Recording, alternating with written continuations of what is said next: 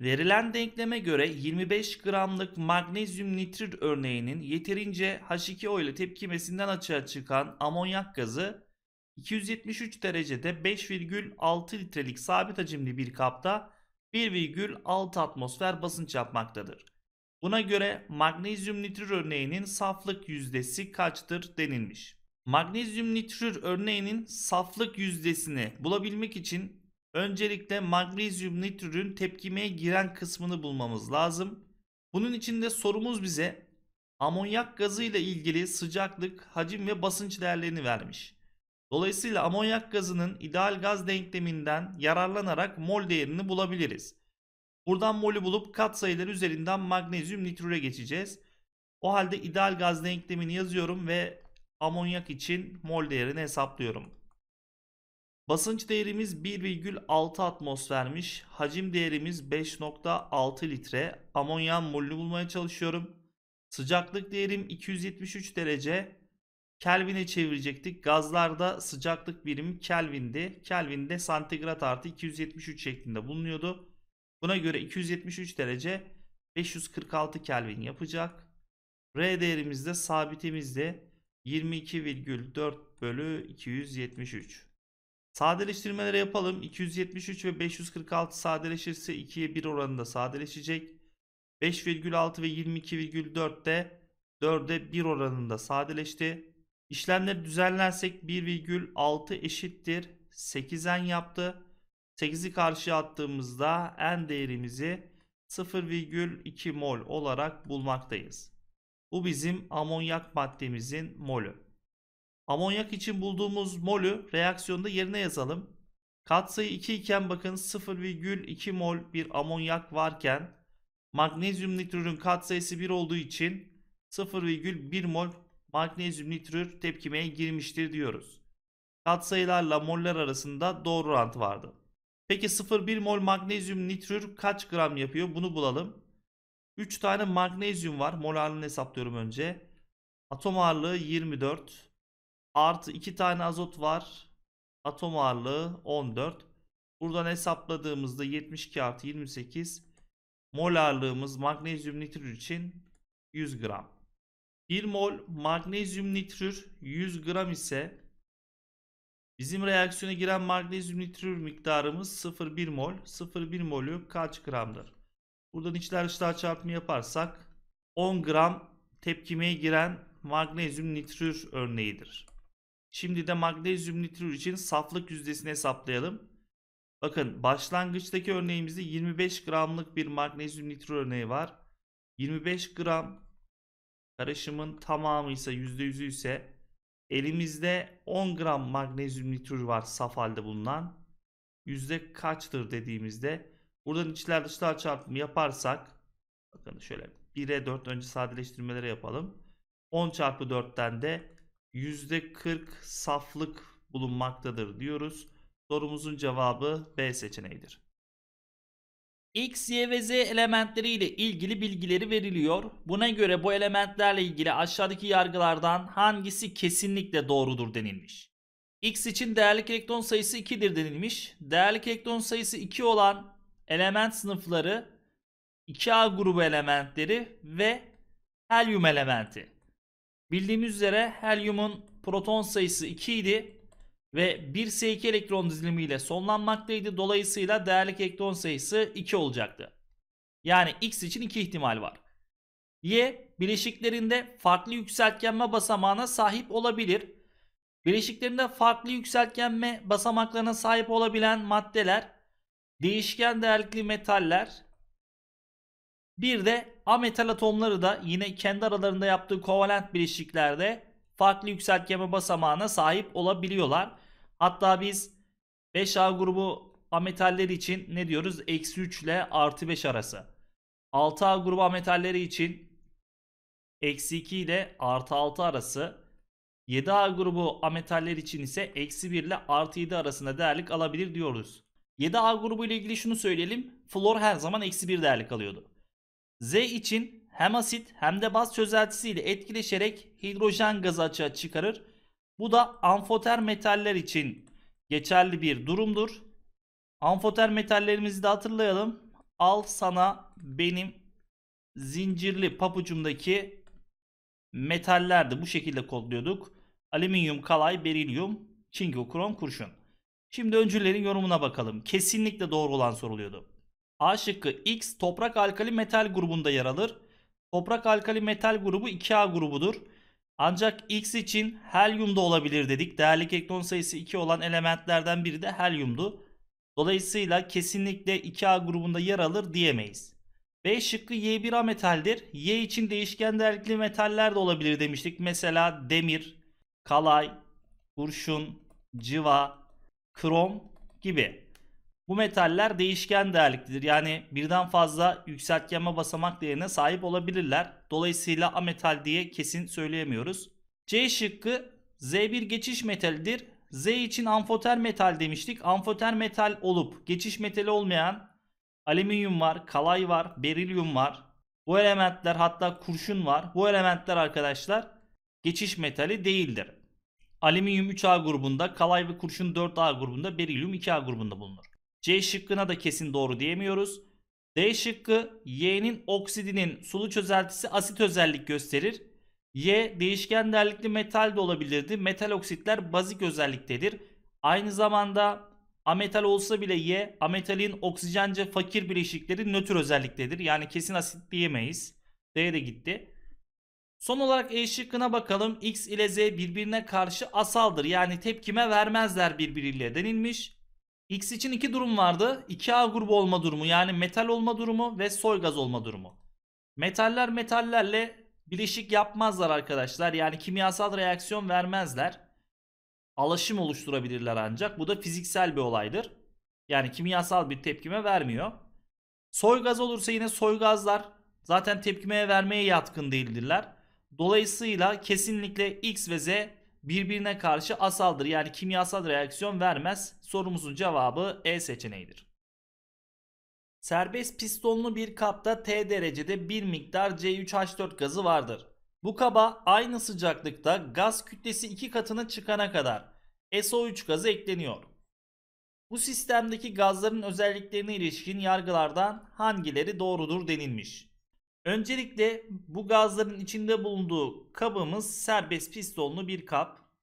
Kabımızda başlangıçta bir miktar C3H4 gazı bulunduğu söylenilmiş. Diyelim ki 1 mol C3H4 bulunsun elimizde.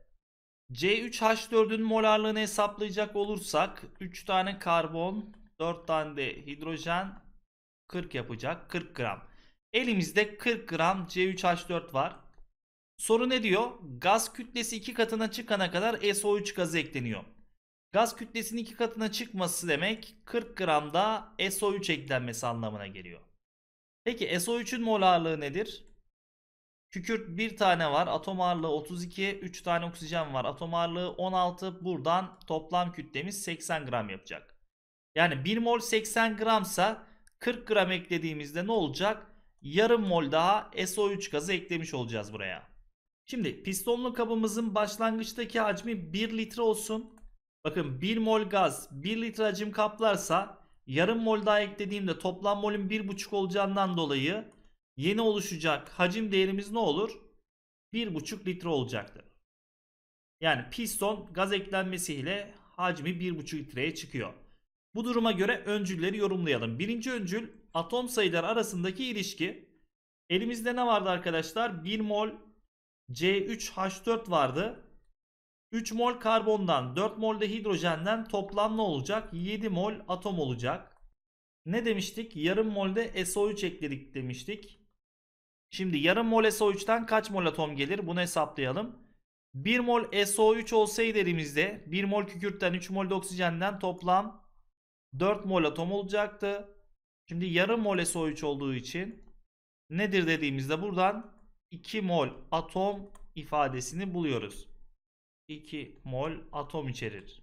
Dolayısıyla iki gazdan gelen atom sayısına baktığımızda C3H4'ten 7 mol, SO3'ten 2 mol. Yani C3H4'teki atom sayısı SO3'ten büyüktür. Birinci öncül doğrudur. İkinci öncül kısmi basınçları arasındaki ilişki denilmiş. Arkadaşlar bir gazın molü ile kısmi basıncı arasında doğru bir orantı vardır. Mol sayısı arttıkça kısmi basınç da artar.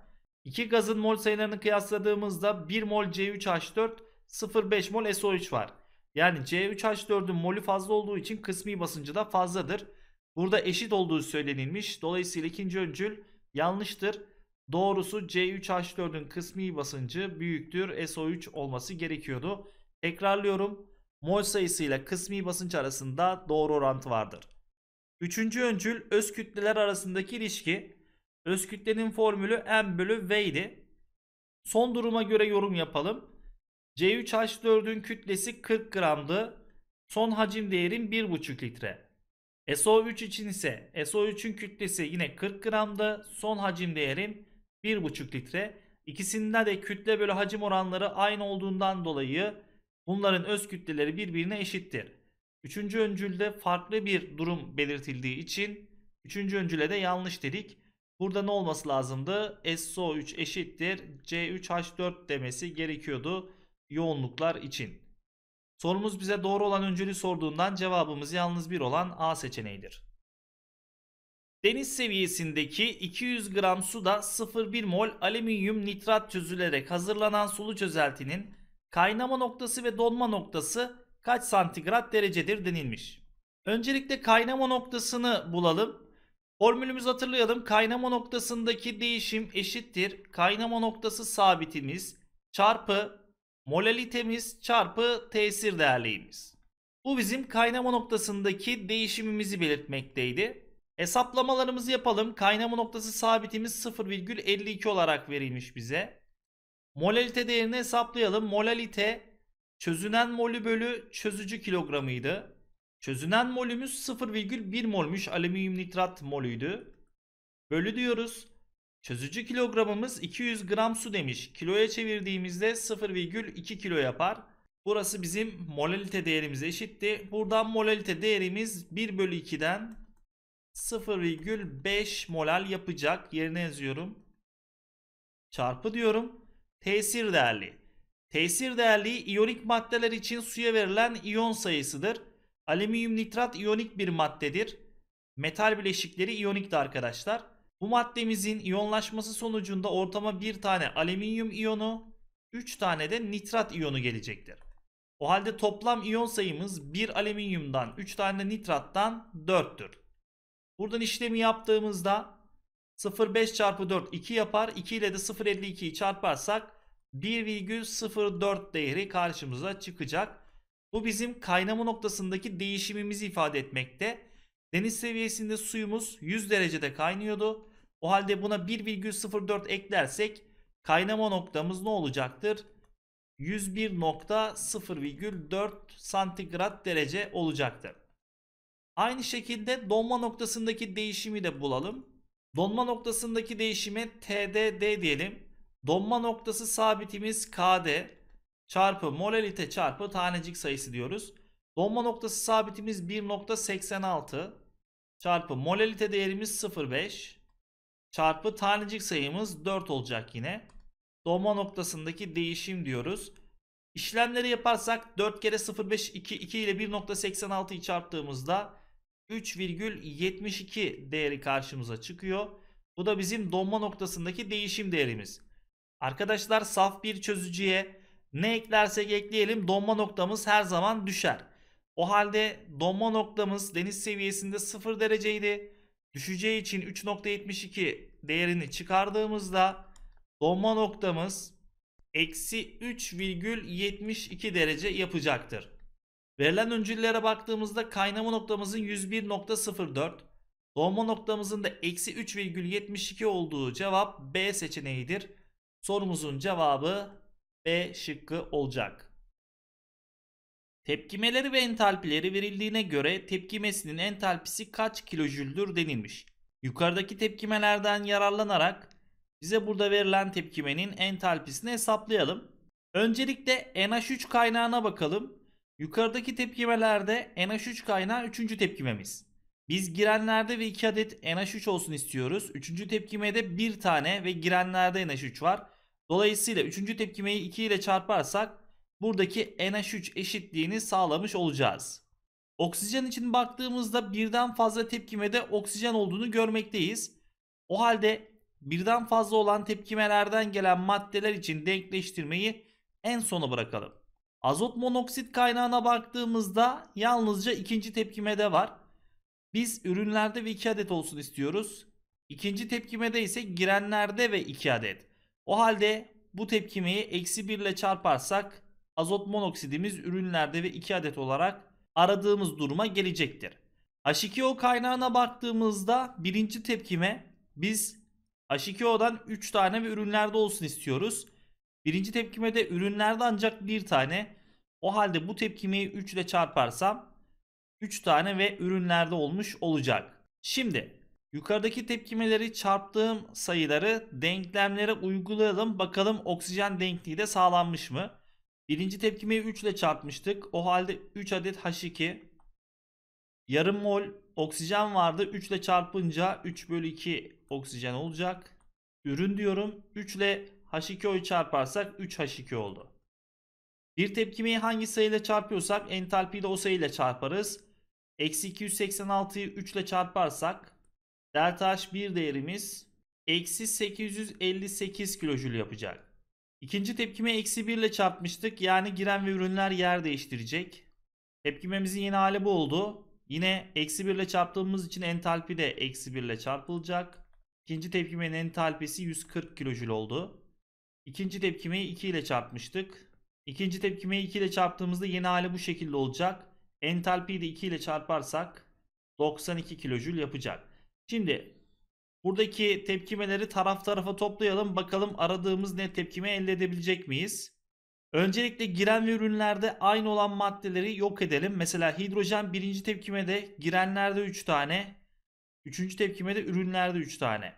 Dolayısıyla bu madde taraf tarafa toplandığında yok olacaktır. Aynı şekilde azot ikinci tepkimede bir tane.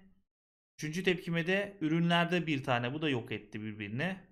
Kalan maddeleri taraf tarafa toplarsak 2 tane NH3 var elimizde.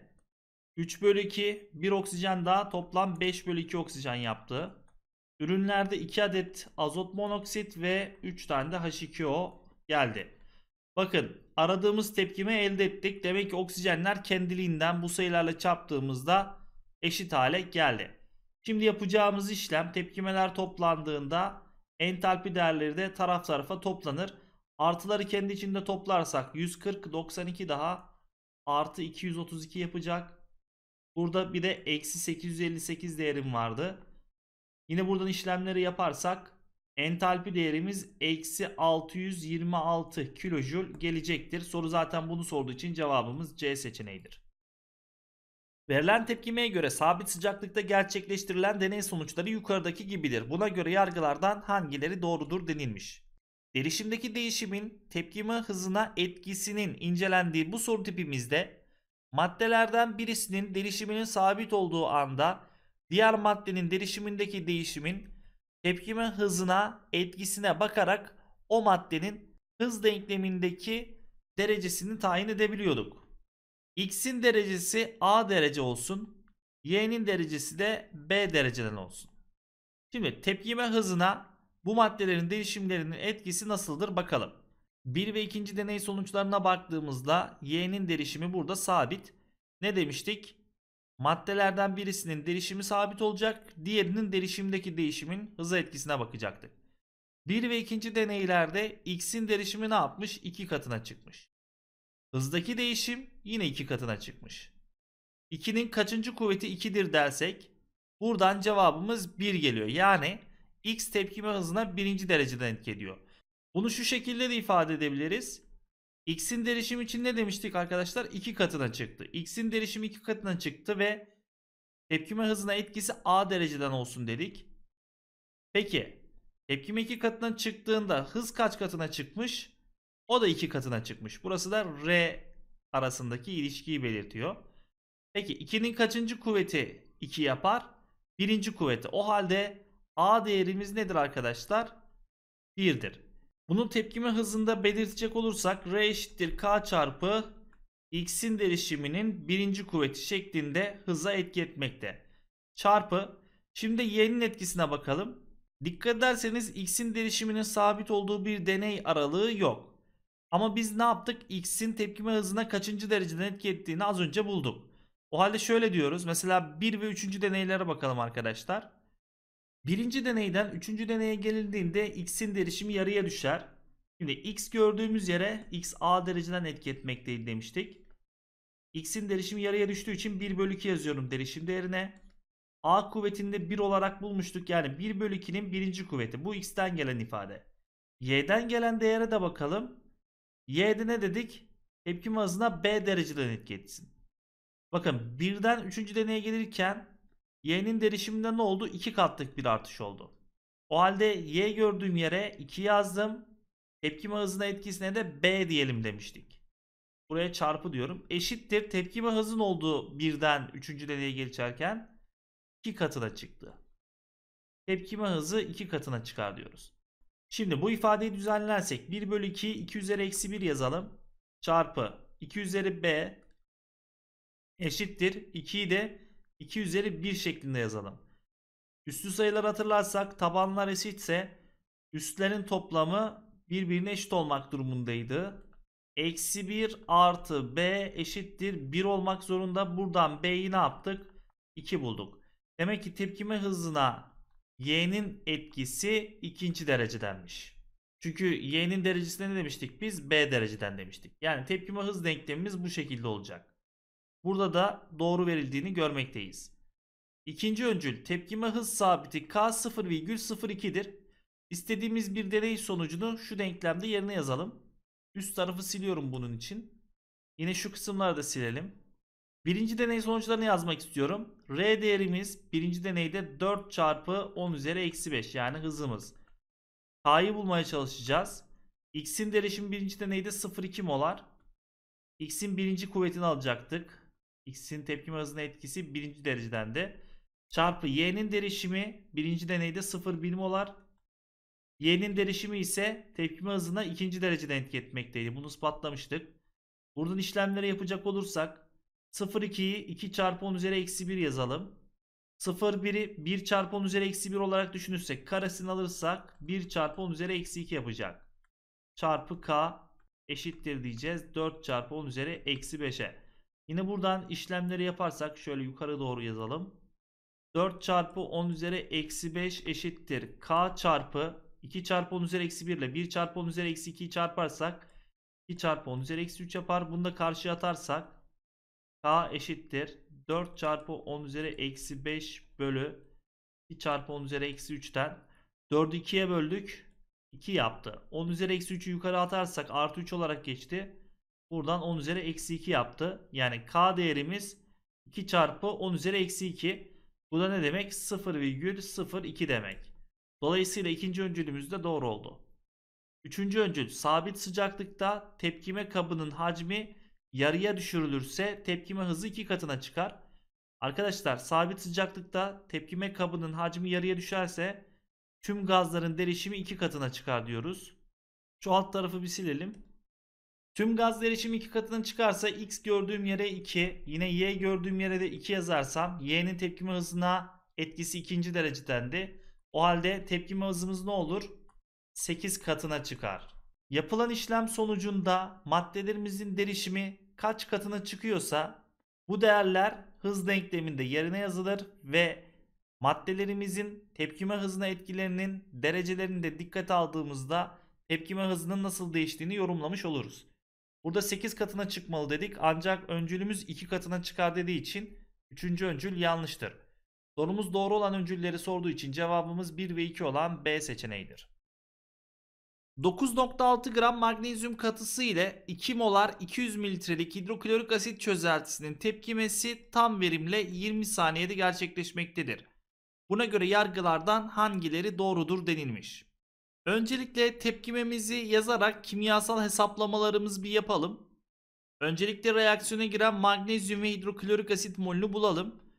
Magnezyum için 9.6 gram var denilmişti. Mol formülünü yerine yazacak olursak 9,6 bölü 24'ten 0,4 mol magnezyum bulunuyor elimizde. Buraya başlangıç diyelim. 0,4 mol magnezyum varmış. Hidroklorik asidin molünü ise derişim ve hacim değeri bilindiği için buradan yapacağız. Yani molarite formülünden. 2 molar derişimimiz vardı. Molü bulmaya çalışıyoruz. Hacim değerimiz 200 mililitre yani 0,2 litredir. Buradan yine 0,4 molde HCl olduğunu görmekteyiz. Yerine yazdık. Bu tepkime öncesindeki değerler. Şimdi arkadaşlar bir tepkimede reaktiflerin her ikisinin de başlangıç miktarı verilmişse buradaki katsayılar üzerinden mol yorumumuzu sınırlayıcı maddeye göre yapacaktık. Sınırlayıcı maddeyi nasıl buluyorduk hatırlayalım. Başlangıç mol bölü katsayı oranı az olan sınırlayıcı maddeydi. Magnezyum için başlangıç molümüz 0,4 katsayımız 1. Magnezyumun öndeki sayı. Buradan 0,4 geldi. Başlangıç mol bölü katsayı oranı magnezyum için 0,4 geldi. HCl için de hesaplamamızı yapalım. Başlangıç molümüz 0,4 katsayımız 2. Buradan 0,2 değeri geldi. Ne demiştik? Başlangıç mol bölü katsayı oranı az olan sınırlayıcıdır. O halde buradaki sınırlayıcı maddemiz hidroklorik asittir. Tam verimli bir tepkimede sınırlayıcı madde tamamen tükenmelidir. Katsayı 2 iken 0,4'ü harcarsak tamamen tüketirsek katsayı 1 iken 0,2 mol harcanır. Bakın biz sınırlayıcı maddeyi niye buluyorduk? Katsayılar üzerinden mol yorumunu bu maddeye göre yapacaktık. Hidroklorik asit üzerinden katsayı 2 iken 0,4 ise 1 iken 0,2 bu yüzden dedik. Ürünleri de yazalım. Katsayı 1 iken 0,2 mol magnezyum klorürü oluştu ve katsayı 1 iken 0,2 mol de hidrojen gazı açığa çıkar dedik. Son duruma geldiğimizde elimizde artan 0,2 mol magnezyum bulunacak. Hidroklorik asidin tamamı tükendi. 0,2 mol tuzumuz oluştu ve 0,2 mol de hidrojen gazı açığa çıktı diyeceğiz. Şimdi öncüllerin yorumuna geçelim. Birinci öncül. Magnezyum katısının ortalama harcanma hızı 10 üzeri eksi 2 mol bölü saniyedir. Ortalama harcanma hızları verilirken birimlere dikkat edeceğiz. Burada önemli olan bizim için birim. Harcanan molü bölü tepkime süresi olarak düşüneceğiz. Sağ tarafı silip birinci öncülün doğruluğunu yorumlayalım. Evet magnezyum için ortalama harcanma hızını mol bölü saniye cinsinden bulacaktık. Magnezyumun harcanan molü nedir arkadaşlar tepkime süresinde? 0,2 moldür. O halde mol birim yerine 0,2 diyorum. Tepkime süremiz de 20 saniye sürmüş ve süremiz de saniye cinsinden belirtilmiş. Bölü 20 dedik. Buradan ifadeyi düzenlersek 0,2 2 çarpı 10 üzeri eksi 1 diye yazalım. 20'yi de 2 çarpı 10 üzeri artı 1 diye yazarsak 2 bölü 2'den 1 geldi. 10 üzeri 1 yukarı 10 üzeri eksi 1 diye geçtiğinde burası 10 üzeri eksi 2 yaptı. Yani magnezyum için ortalama harcanma hızı 1 çarpı 10 üzeri eksi 2 mol bölü saniyedir. Birinci öncülümüz doğrudur. İkinci öncül. Hidrojen gazının normal koşullardaki ortalama oluşma hızı litre bölü saniye cinsinden belirtilmiş. Hidrojen gazı için 0,2 mol oluşur demiştik. Bu mol değerinin normal koşullardaki hacmini bulalım öncelikle. 1 mol normal şartlarda 22,4 litre ise 0,2 mol normal koşullarda kaç litre dedik. Buradan 4,48 litre geldi. Bakın arkadaşlar neden litreye çevirdik? Çünkü bizden istenen cevapta hızın birimi litre bölü saniye denilmiş. O halde litre gördüğüm yere 4,48 diyeceğiz. Şöyle RH2 olsun bu da. 4,48 dedik.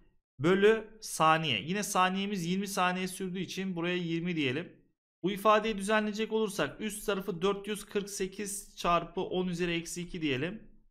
Alt tarafa da 2 çarpı 10 üzeri 1 diyelim. 448'i 2'ye bölersem 224 yapacak. 10 üzeri 1 yukarı eksi 1 diye geçerse 10 üzeri eksi 3 yapar. 224 çarpı 10 üzeri eksi 3 de 0,224 litre bölü saniyedir diyecektik. Dolayısıyla ikinci öncülümüz yanlış oldu.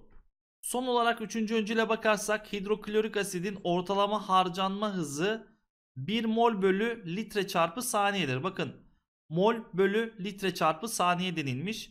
Hidroklorik asidin harcanan molü 0,4 moldü. RHCl diyelim buna da. 0,4'ü yazdık. Bölü. Birim olarak paydada ne istemiş? Litre çarpı saniye. Bakın bize hidroklorik asidin hacmi 200 mililitre verilmiş. Bunu litreye çevirirsek 0,2 litre yapar. çarpı saniye dediği için de 20 saniye sürdü tepkimemiz. Buradan sadeleştirme yaparsak 0,2 ve 0,4 2'ye 1 oranında bulunacak. 2 bölü 20 de 1 bölü 10 yapacak. Dolayısıyla buradan 0,1 mol bölü litre çarpı saniye değeri gelecek. Öncülümüzde bize 1 mol bölü litre çarpı saniye denildiği için 3. öncül de yanlıştır. Sorumuz doğru olan öncülleri sorduğundan cevabımız yalnız bir olan A seçeneğidir. Tepkimesinin 273 derecedeki derişimler cinsinden denge sabiti Kc 0.25'tir. Bu tepkime ile ilgili yargılardan hangileri doğrudur denilmiş. Birinci öncül aynı sıcaklıktaki kısmi basınçlar cinsinden denge sabiti Kp 11,2'dir. Kp ve Kc arasındaki ilişkiden yararlanarak Kp'mizi bulalım. Kp eşittir Kc çarpı R çarpı T'nin delta n'inci kuvveti diyorduk. Burada delta n ürün eksi giren gaz katsayısıydı. Değerleri yerine yazalım. Kc'miz 0.25 olarak verilmiş. R değerimiz 22,4 bölü 273. Sıcaklığımız Kelvin cinsinden olacak. Kelvin'i nasıl buluyorduk? Santigrat artı 273 şeklinde. Bize verilen sıcaklık değeri 273 derece olduğu için Kelvin karşılığı 546 olacak. Delta N'e ürün eksi girendeki gaz kat sayısı dedik. Ürünlerdeki gaz kat sayımız 2, girenlerdeki gaz kat sayımız 1'dir. Dolayısıyla delta N'imiz 2 eksi 1 şeklinde yazılabilir. Bu bizim Kp değerimiz eşit olacak. Sadeleştirmeleri yapalım. 273 ve 546 2'ye 1 oranında sadeleşir. Parantez içindeki ifademiz 22,4 çarpı 2'den 44,8 olacak. Zaten şurası 1 gelmekteydi. 44.8'in birinci kuvveti yine 44.8 olacak. Çarpı 0.25 dediğimizde 0.25'i 1 bölü 4 olarak düşünebilirsiniz. Buradan Kp değerimiz 11,2 gelecektir. Birinci öncülümüz doğrudur. İkinci öncül geri hız sabiti Kg ile ileri hız sabiti Ki arasındaki ilişki belirtilmiş bize. Arkadaşlar Kc'nin bir diğer formülü de hatırlarsak Ki bölü Kg idi. Soruda bize KC 0.25 verilmiş. 0.25'i 1 bölü 4 olarak yazarsak bu ifade KI bölü KG'ye eşittir. Bu ifadeden içler dışlar çarpımı yaparsak KG eşittir 4 çarpı KI eşitliği gelmekte. Dolayısıyla ikinci öncülümüz de doğrudur. Burada ne demiştik? KG eşittir 4KI. Burada bulduğumuzun aynısı. Üçüncü öncül PCL3 ve CL2 derişimi büyüktür PCL5 denilmiş. Bakın KC ifadesini nasıl yazıyorduk biz? Ürün bölü giren. Ürün bölü girenlere göre KC yazdığımızda ürünlerde yer alan fosfor triklorür bileşiği ile klor molekülünün derişimleri çarpımı bölü girenimiz olan fosfor pentaklorür maddesinin derişimine dediğimizde KC ifadesini buluyoruz. Bakın şurada belirtilen ifade bizim neyimiz? Ürünlerde yer alan maddemiz yani pay kısmında yer alan maddemizin derişimleri çarpımı. PCl5 ise girenlerdeki derişimin çarpımı. Bize KC ifadesi 0,25 verilmişti. Yani birden küçük bir değer. Şu ifadenin birden küçük olması ne demek? Paydamızın paydan daha büyük olması demek. Yani PCl5 derişimi büyüktür PCl3 derişimi çarpı CL2 derişiminden. Tekrarlıyorum. KC ifademiz 0,25 olduğundan dolayı yani bu ifademiz birden küçük bir ifadedir. Rasyonel bir ifadenin birden küçük olması ne anlama gelir? Paydasının paydan daha büyük olduğu anlamına gelir.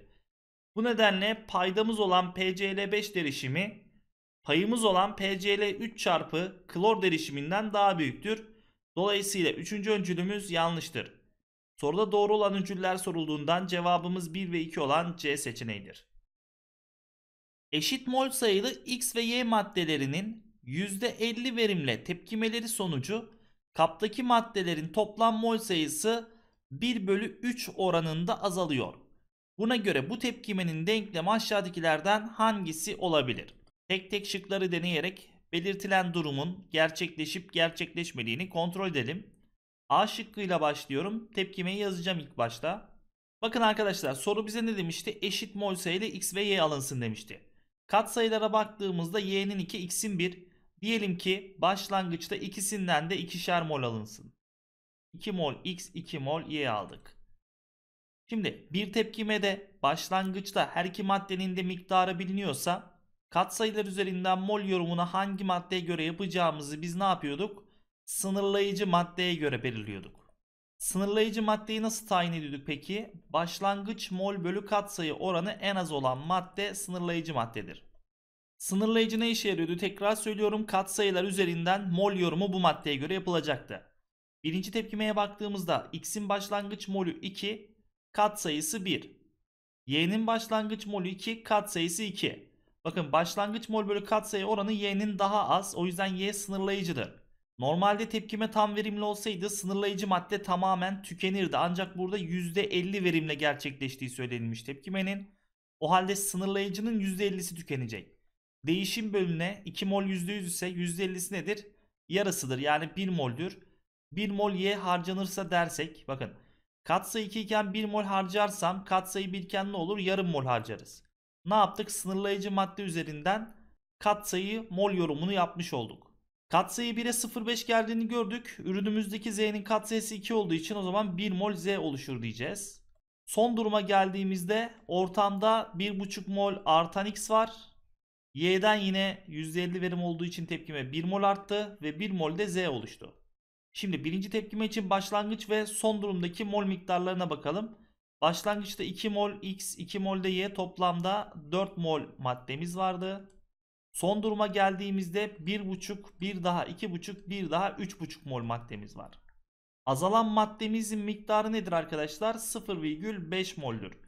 Ne diyordu sorumuz bize? Tepkimeleri sonucunda kaptaki maddelerin toplam mol sayısı 1 bölü 3 oranında azalıyor.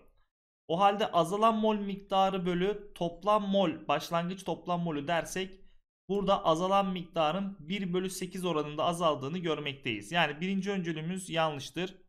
Dediğimiz gibi 1 bölü 8'i kadar azaldı diyoruz.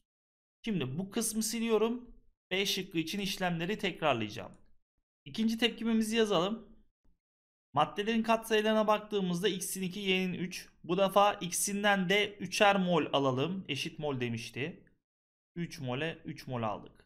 Henüz ürün yok. Yine sınırlayıcı maddeyi bulmak için başlangıç mol bölü katsayı oranına baktığımızda y'nin sınırlayıcı madde olduğunu söylüyoruz. Çünkü başlangıç mol bölü katsayı oranı y'de 3 bölü 3'ten 1 gelmekte. x'te 3 bölü 2'den 1,5 gelmekte. Daha az olan sınırlayıcıydı. Tepkime %50 verimle gerçekleştiği için y'nin yarısı tükenecektir. Katsayı 3 iken 1,5 mol harcanırsa katsayı 2 iken 1 mol madde harcanır. Katsayı 1 iken yarım mol madde oluşur. Son duruma geldiğimizde 2 mol x arttı. 1,5 mol y arttı ve yarım mol de z oluştu. Yine başlangıç ve son durumları kıyaslayalım. Başlangıçta 3 mol x'ten 3 mol de y'den 6 mol madden varken Son durumda 2 mol x'ten artan 1,5 y'den artan 3,5 yarım molde oluşan z 4 mol oluştu. Şimdi aradaki fark ne arkadaşlar? 2 mol. Ne yapıyorduk? Azalan miktar bölü başlangıç miktarı dediğimizde ne kadar azaldığını bulmuş oluyorduk. Başlangıcımız 6 moldü. Bakın buradan sadeleştirirsek 1 bölü 3 oranında azalmış oldu. Zaten soru bize 1 bölü 3 oranında azalanı sorduğu için cevabımız B şıkkıdır. Son olarak bir tane daha öncül yapalım. Mesela D şıkkını yapalım arkadaşlar. D şıkkını yazıyorum. Katsayılara baktığımızda 1'e 3 her ikisinden de 3'er mol alalım. Yine başlangıç diyelim. 3'e 3. Henüz ürün yok. Sınırlayıcı maddeyi bulmak için başlangıç mol bölü katsayı oranı yaptığımızda y'den 3 bölü 3'ten 1 geldi. x'ten 3 bölü 1'den 3 geldi. Daha az olan sınırlayıcı dediğimiz için y yine sınırlayıcı burada. Tepkime %50 verimli olduğu için yarısı harcandı. 3'te 1,5 harcarsak 1'de yarım harcarız. 2'de 1 oluşuruz. Son duruma geldik. 3 eksi 0,5'ten 2,5 arttı. 3 eksi 1,5'tan 1,5 arttı. 1 oluştu. Başlangıç ve son durumu kıyaslayalım. Başlangıçta 6 mol maddem vardı. Son durumda 2,5, 1,5 daha 4, 1 daha 5 mol maddem var. Aradaki fark 1 mol. Bakın ne yapıyorduk? Azalan miktar bölü başlangıç miktarı dediğimizde ne kadar azaldığını buluyorduk. Buradan da 1 bölü 6 oranında azaldığını bulduk. Bu da elendi. Diğer şıklardaki işlemleri de yaptığınızda C şıkkında 1 bölü 4'ü kadar azalacak. E şıkkında da 1 bölü 4'ü kadar azaldığını göreceksiniz arkadaşlar. Dolayısıyla C ve E şıkları da olmayacak. Sorumuzun cevabı B şıkkıdır. Oda koşullarındaki 0,2 molar 100 mililitre HA zayıf asit çözeltisi ile ilgili yargılardan hangileri doğrudur denilmiş. Birinci öncül pH'i 3'tür deniliyor. Bunun için 0,2 molarlık HA asidinin iyonlaşması sonucundaki oluşan H artı iyon derişimini bulmamız gerekecek. İyonlaşma denklemimizi yazıyoruz. Aşağı zayıf bir asit olduğu için denge tepkimesi şeklinde iyonlaşacak. Suya verdiği iyonlar bu şekildedir. Bakın başlangıçtaki asidimizin derişimi 0,2 molarmış. İyonlaşma yüzdesini bilmediğimiz için iyonlaşan H artı ve A eksi iyon derişimine x molar diyelim. Katsayıları birebir olduğu için ikisine de x molar dedik. Ka ifadesi üzerinden x'i bulalım. Ka ürün bölü giren derişimi şeklinde yazılmaktaydı. Ürünlerde H artı ve A iyon derişimleri var. Girenlerde ise asidimizin kendi derişimi. Burada H ve A için x molar demiştik. HA derişimi için 0,2 molar diyoruz. Burada HA'nın iyonlaşan kısmını ihmal ettik. Çünkü iyonlaşma miktarı çok az olduğundan dolayı iyonlaşan miktar hemen hemen 0,2 molara eşit olacaktı. İşlem kolaylığı açısından iyonlaşan kısmı ihmal ediyoruz. Eşittir KA'ya. KA'da soruda bakın verilmiş HA için. 5 çarpı 10 üzeri eksi 6'ymış. Buradan işlemleri yaparsak 0,2 karşıya çarpım olarak geçtiğinde 0,2 çarpı 5'ten 1 olacak. 10 üzeri eksi 6'mız aynen kaldı. Şu kısım x kare olarak karşımıza çıktı. Her iki tarafın karekökünü alırsak x dediğimiz değerimiz 1 çarpı 10 üzeri eksi 3 molar yapacak. Bakın x dediğimiz değer neydi? Bakın x dediğimiz değer neydi? H artının derişimiydi. Yani bu değer bizim H artı iyon derişimimiz oldu. Birinci öncül bize pH'ı soruyordu. Biz pH'ı nasıl buluyorduk arkadaşlar? H artı derişiminin eksi logaritmasını alarak buluyorduk. O halde eksi logaritma H artı yerine de 1 çarpı 10 üzeri eksi 3 yazdığımızda buradan pH değerimiz 3 gelecektir. Birinci öncül doğrudur. İkinci öncülde iyonlaşma yüzdesinden bahsetmiş. Bunu H artı iyon derişimi üzerinden yapacağım. Eğer asidimiz %100 iyonlaşsaydı katsayılar birebir olduğundan dolayı 0,2 molarlık bir H artı derişim oluşması beklenirdi. Ancak iyonlaşma sonucunda H artı derişimini ne bulduk? 1 çarpı 10 üzeri eksi 3 molar. 1 çarpı 10 üzeri eksi 3 molar olduğuna göre yüzde kaçı iyonlaşmıştır diyoruz. İyonlaşma yüzdemize A diyelim. İçler dışlar çarpımı yapalım. 100 çarpı 1 çarpı 10 üzeri eksi 3'ü 0,001 olarak yazalım. Eşittir 0,2 çarpı A'ya. A'yı bulmaya çalışıyoruz. Buradaki 2 sıfırla şuradaki 2 sıfır birbirini götürecek. Sol taraf 0,1 şeklinde kaldı. Sağ tarafta 0,2 çarpı A. 0,2'yi karşıya atarsak 0,1 bölü 0,2 bu A'ya eşit oluyor. Buradan 1 bölü 2 yapar. Bu da ne yapar? 0,5 yapar. Yani iyonlaşma yüzdemiz %0,5'tir. İkinci öncülümüz de doğrudur. Üçüncü öncül 0,1 molar 200 mililitre potasyum hidroksit çözeltisiyle tam nötralleşir denilmiş. Arkadaşlar tam nötralleşme denildiğinde çözeltideki H artı mol sayısıyla bakın mol sayısı diyorum. OH eksi mol sayısının birbirine eşit olduğu durumu hatırlayacağız. Bir de şunu yine söyleyeceğiz. Asit ve bazlar birbirine karşı her zaman kuvvetli gibi davranır. Yani %100 yoğunlaşırlar. O halde asidimiz potasyum hidrokside karşı %100 yoğunlaştığına göre 0,2 molarlık HA varsa 0,2 molarlık da H artı derişim gelecek. Buradan H artının molünü bulalım. Şuraya çözelim. Molarite formülünü hatırlarsak derişim değerimiz 0,2 molar dedik H artı için potasyum hidroksit için de. H artının molünü bulmaya çalışıyorum. Hacim değerimiz neydi? Asidimiz için 100 mililitreydi. Yani 0,1 litreydi. Buradan H artı molünü 0,02 mol olarak buluyoruz.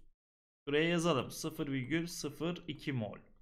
Baz içinde zaten yine 0,1 molar 200 mililitre denilmiş. Bazımız potasyum hidroksit. Onun da iyonlaşmasını yazalım. Potasyum artı hidroksit şeklinde iyonlaşıyor. Potasyum hidroksidin derişimi 0,1 molardı. Katsayılar aynı olduğu için hidroksit derişimi de 0,1 molardır. Yine molarite formülünden hidroksit derişimi 0,1 molar. Hidroksit iyonunun mol sayısını buluyorum. Hacim değerimiz 200 mililitreymiş. 0,2 litre dediğimizde buradan OH'ın molü 0,02 mol gelmekte. O halde OH molü de 0,02 mol oldu. Görüldüğü gibi H artı mol sayısı ile OH mol sayısı birbirine eşit olduğundan dolayı tam nötrleşme gerçekleşir diyoruz. Sorumuz doğru olan öncülleri sorduğu için cevabımız 1, 2 ve 3. öncülleri içeren E seçeneğidir. Saf suya 7,34 mg kurşun 2 bromür katısı eklenerek 2 litrelik çözelti hazırlanıyor. Buna göre oluşan çözelti ile ilgili yargılardan hangileri doğrudur denilmiş. Birinci öncül bir miktar daha kurşun 2 bromür çözebilir. Yani burada çözelti doymamış deniliyor. Çünkü bir maddenin hala çözebileceği bir miktar varsa böyle çözeltiler doymamış çözeltilerdir. Bunun için KÇÇ ifadesinden yararlanarak molar çözünürlüğünü bulalım. Sonra bize verilen değer üzerinden mevcut derişimi bulalım. Eğer KÇÇ üzerindeki derişimden bize verilen buradaki miktar daha küçük bir derişimse o halde çözeltimiz doymamıştır ve bir miktar daha kurşun 2 bromür çözebilir yorumunu yapacağız. Dediğimiz gibi ilk olarak KÇÇ ifadesinden molar çözünürlüğümüzü bulalım. KÇÇ ifademiz ürünlere göre yazılmaktaydı. Kurşun iyon derişimi çarpı bromiyon derişiminin karesi şeklinde bulunacak. Burada bromun karesini almamızın nedeni bromun katsayısının 2 olması. Biz katıların saf sudaki çözünürlüğüne S molar diyorduk. Kurşun bromürden S molar çözünürse katsayı 1 olduğundan dolayı kurşun iyon derişimi S molar. Katsayı 2 olduğu için de brom iyon derişimi 2 S molar olur. Bu değerler doygun bir çözelti için geçerlidir arkadaşlar. Şimdi bu değerleri yerine yazarak saf sudaki çözünürlüğümüz yani doygunluğu ifade eden molar çözünürlüğü bulalım. Kurşun derişimine S dedik. Çarpı brom derişimine 2S dedik. Ve 2S'in karesini alacağımızı söyledik. Eşittir KÇÇ ifademiz 4 çarpı 10 üzeri eksi 12. Buradan işlemleri yaparsak sağ taraf 4S küp gelecek. Sol taraf 4 çarpı 10 üzeri eksi 12 idi. 4'ler birbirini götürdü. Buradan S değeri 10 üzeri eksi 4 molar geldi. Az önce de belirttiğim gibi bu değer bizim molar çözünürlüğümüz. Yani doygun bir çözeltinin sahip olması gereken derişim değeri. Bizim hacim değerimiz 2 litreydi. Peki 2 litrelik doygun bir çözeltide kaç mol kurşun 2 bromür çözülmüştür? Bunu hesaplayalım. Bu bizim referans değerimiz olacak. Molarite formülü üzerinden hesaplamamı yapıyorum. Molariteyi 10 üzeri eksi 4 molar bulmuştuk doygun bir çözeltide.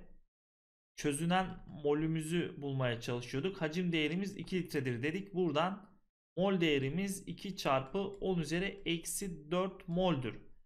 Bu değer bizim 2 litrelik doygun çözeltideki çözünen madde miktarımızı belirtiyor. Peki bize verilen miktar kaç mole denk geliyor? 2 litrelik çözeltiye eklenmişti bu değer. Bunun molünü bulalım. Öncelikle miligramı grama çevireceğim. 1 gram 1000 miligramdı. Bizim elimizde 7,34 miligram olduğuna göre kaç gramdır dersek buradan 7,34 çarpı 10 üzeri eksi 3 gram diyebiliriz. Dediğimiz gibi molü bulmaya çalışıyorduk. 1 molümüz kurşun 2 bromür için bakın 367 grammış. 367 gram ise bizim şu anki elimizde mevcut gramımız nedir? 7,34 çarpı 10 üzeri eksi 3. Bunu biz 734 çarpı 10 üzeri eksi 5 gram şeklinde yazalım. 2 sıfır kaydırdım yüzde çarptığım için. Sadeleştirme yaparsak 367 ve 734 2'ye 1 oranında sadeleşir. Burada içler dışlar çarpımı yaptığımızda 2 çarpı 10 üzeri eksi 5 mol maddemiz çözülmüştür. Bu mevcuttaki yani elimizdeki değer. Peki iki değeri kıyasladığımda doygun olması için 2 çarpı 10 üzeri eksi 4 mol madde çözebilir diyoruz. Ama şu an elimizde ne var? 2 çarpı 10 üzeri eksi 5 mol maddemiz var. Yani 2 çarpı 10 üzeri eksi 4 büyüktür 2 çarpı 10 üzeri eksi 5 olduğu için hala bizim çözeltimiz madde çözebilir. Yani bu çözelti doymamıştır. Birinci öncül doğrudur. İkinci öncülü yorumlamadan önce üçüncü öncüle bir bakalım. 1800 mililitre su buharlaştırılırsa çözelti doygun olur denilmiş. Bunun için de şöyle bir denklem kuruyoruz. 2 litrelik çözelti doygun olmak için ne kadar madde çözmesi gerekiyordu? 2 çarpı 10 üzeri eksi 4 mol madde çözmesi gerekiyordu. Şu an elimizde ne kadar maddemiz vardı? 2 çarpı 10 üzeri eksi 5 mol madde doygun olmak için ne kadar bir hacme sahip olması lazım? Şuraya V diyelim. Sadeleştirme işlemlerini yapalım önce. İkiler birbirini götürdü. İçler dışlar çarpımı yaparsak 2 çarpı 10 üzeri eksi 5 ile eşittir diyorum. V çarpı 10 üzeri eksi 4'ü. V'yi bulmaya çalışıyorduk. 10 üzeri eksi 4'ü karşıya atarsam 2 çarpı 10 üzeri eksi 5 bölü 10 üzeri eksi 4 geldi buradan. 10 üzeri eksi 4 yukarı artı olarak geçtiğinde V değeriydi. V değerimiz buradan 2 çarpı 10 üzeri eksi 1 litre olarak karşımıza çıkacak. Yani 0,2 litre olarak karşımıza çıktı. Bizim başlangıçtaki çözeltimiz 2 litreydi.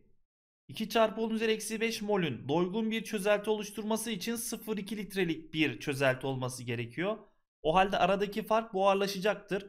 Yani 2 litreden 0,2 litreyi çıkarırsam 1,8 litre su buharlaşmalı. Bize buharlaşan miktar mililitre cinsinden belirtildiği için 1,8 litre 1000 ile çarparak mililitreye çevrilir. Ne yapar? 1800 mililitre yapar. Yani 1800 mililitre su buharlaştırıldığında elimizde 0,2 litrelik bir çözelti kalır ve bu çözelti içinde 2 çarpı 10 üzeri eksi 5 mol çözünen içerdiği için artık doygun hale gelmiş olur. Üçüncü öncülümüz de doğrudur. Şimdi de ikinci öncülü yorumlayalım ama öncelikle şu alt tarafı falan bir silelim alan açılsın. İkinci öncülde çözeltideki iyonların çarpımı demiş. Yani iyon kesrinden bahsetmiş. Bakalım 4 çarpı 10 üzeri eksi 15 mi? Öncelikle şundan bahsedeyim.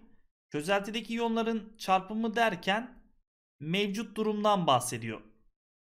Elimizdeki değere göre yorum yapacağız. Yani 2 çarpı 10 üzeri eksi 5 mol mevcutta çözünen vardı ya.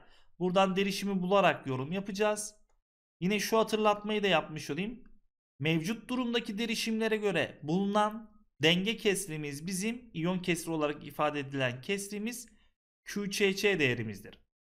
Yani biz denge durumdaki iyonların derişim çarpımını yapsaydık KÇÇ'yi bulacaktık. Burası dengeye göre, son duruma göre. Eğer herhangi bir andaki yani mevcut durumdaki iyon derişimini alırsak bu değerde ne oluyor? QÇÇ oluyor. Aynı KC ve QC ilişkisi gibi. O halde burada da belirtildiği gibi iyon kesri nedir? Yine KÇÇ gibi ürünlere göre yazılıyordu. Zaten soru belirtmiş bunu bize. Şu ifadeyi belirtmiş yani. Ekstra düşünmemize gerek yok. Sadece buraya yazacağımız değerler nedir? Mevcuttaki derişim değerleridir. Onu da bulalım. Molarite formülü üzerinden bulacağız. Çözünen molümüzü zaten 2 çarpı 10 üzeri eksi 5 mol bulmuştuk. Hacim değerimiz de bakın 2 litreydi. Buradan molarite değerimiz mevcutta 1 çarpı 10 üzeri eksi 5 molardır. Bu değer neyi ifade etmekte? Çözülmüş olan kurşun 2 bromürü ifade etmekte. Artık şu kısmı silelim. Şimdi mevcut durumdaki derişimleri yazacağımızı söylemiştik.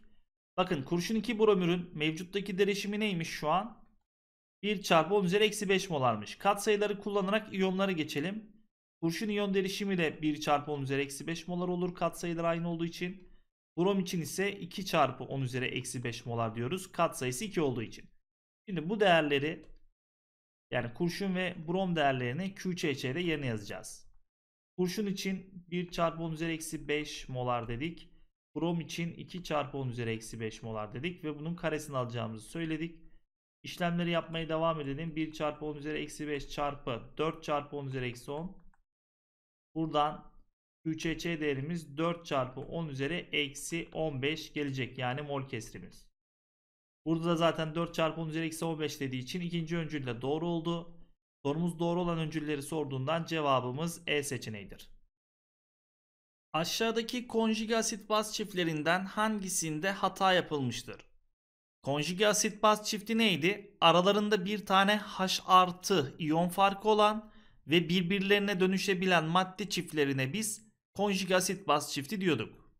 Konjug asit baz çiftleri arasında bir tane H artı farkı olabilir. Yani hidrojen iyon farkı olabilir. Yine bu madde çiftlerinden hidrojen sayısı fazla olan asit, hidrojen sayısı az olan ise konjüge bazdır. Bu bilgilere göre öncülleri yorumlayalım. A şıkkına baktığımızda belirtilen maddeler arasında bir tane H artı farkı var ve H artı fazla olana asit denilmiş. A şıkkındaki eşleştirme doğrudur. B şıkkında yine aralarında bir H artı farkı var. Birbirinin konjüge asit baz çiftidir. Hidrojen sayısı fazla olana asit demiş. Doğrudur. C şıkkında yine verilen çiftlerin arasında bir tane H artı iyon farkı var. Hidrojen sayısı fazla olana yine asit denilmiş. C şıkkındaki eşleştirme de doğrudur. D şıkkına baktığımızda aralarında yine bir H artı farkı var. Birbirlerinin konjüge asit baz çifti. Fakat hidrojen sayısı az olana asit denilmiş. Dolayısıyla buradaki sınıflandırma yanlıştır. Sorumuz bize yanlış olanı, hata yapılanı sorduğu için cevabımız D şıkkıdır. Burada konjüge asit hidronyum iyonu olacak. Konjüge bazımız H2O olacaktı. Doğrusu bu şekilde olacaktı. Su konjüge baz, hidronyum konjüge asit olacaktı. E şıkkına da bakalım son olarak. Aralarında yine bir H artı farkı var. Hidrojen sayısı fazla olan asittir. E şıkkındaki sınıflandırmamız da doğrudur. Sorumuzda hata yapılan öncül sorulduğu için cevabımız D seçeneğidir.